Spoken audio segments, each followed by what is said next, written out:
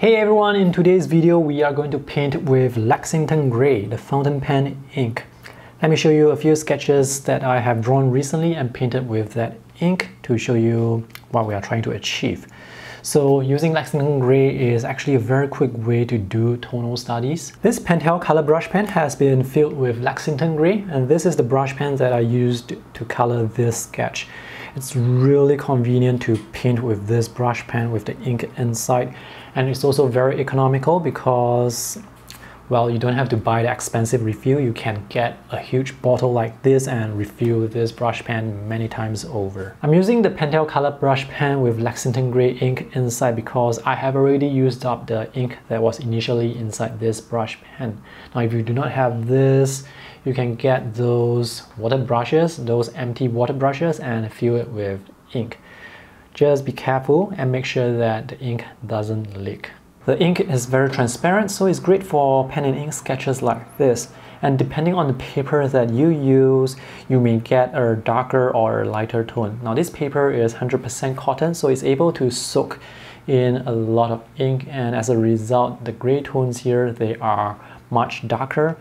You can also glaze over the first layer, but the grays, well, it will not be it will not turn black, it will just be a slightly darker shade of gray. So you will still need to have black. So for example, with this particular sketch, this gray areas, they were colored with Lexington gray, and this darker area here, this is black ink, also from a brush pen. This is how Lexington gray looks on paper that is not as absorbent. So compare this versus this. This is much lighter.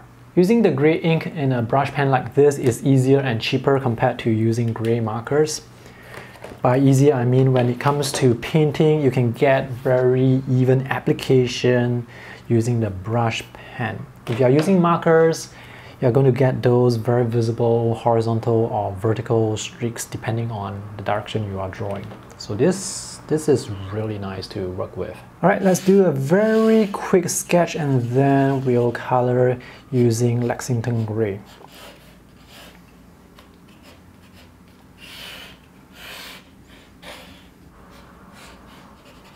By the way, if you happen to have a Pentel color brush pen and you want to refill it with ink, you can check out the refilling video that I have created.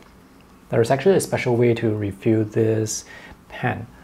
Alright, so now I'm going to very quickly just apply the ink to create shadow. So this is really quick. This is a really quick way to paint. Now this ink, this appears to be a bit darker than I expected.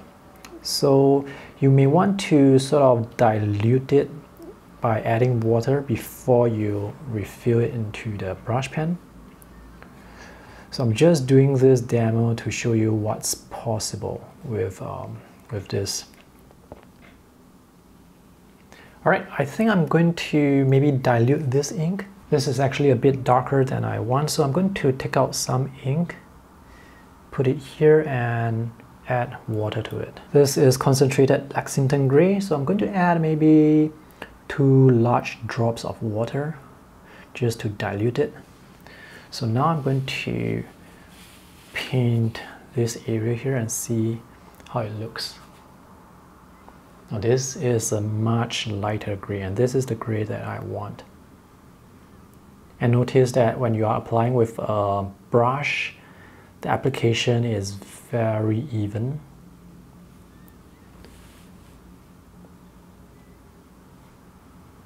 This ink is waterproof when dry, so you can use it with other mediums as well. This is really nice. I really like painting with Lexington Gray. And now let's switch over to using the ink from the brush pen again.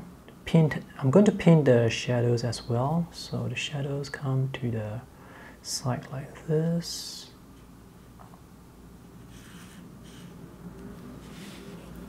With this brush pen, you can cover a large area really quickly so this whole part here is in shadow. Let's glaze over the light gray here with some stripes. And let's make the shadows here a bit darker.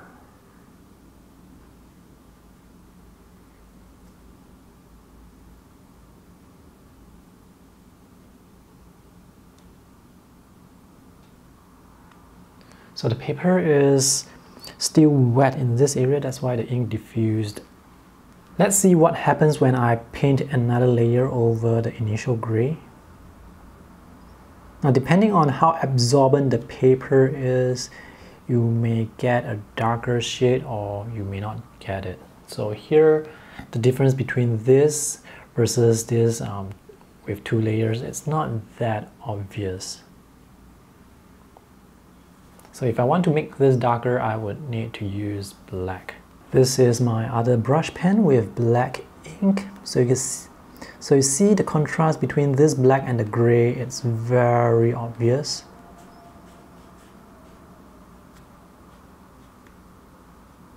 With a few shades of grays and black, you can create the illusion of depth and shadows really easily. The underside of this roof is black as well so let's just paint this with this black brush pen.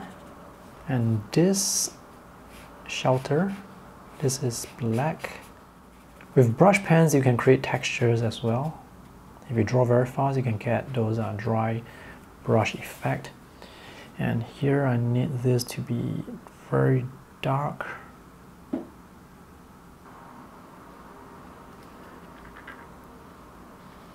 And if you run out of ink, you can squeeze it. Or if you really run out of ink, you can refill your brush pen. Let's add some details.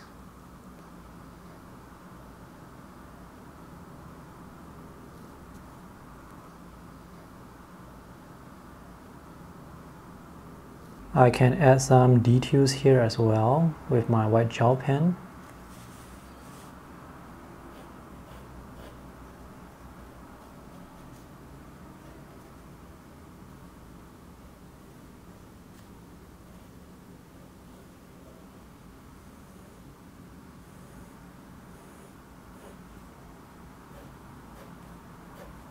So this is the completed sketch drawn under half an hour. It's really convenient to be using Lexington Gray in a brush pen like this. So with black, white, grays and some water, you can create quick tonal studies like this very easily. Now this is a fantastic way to practice to understand more about tones, light, shadow and contrast.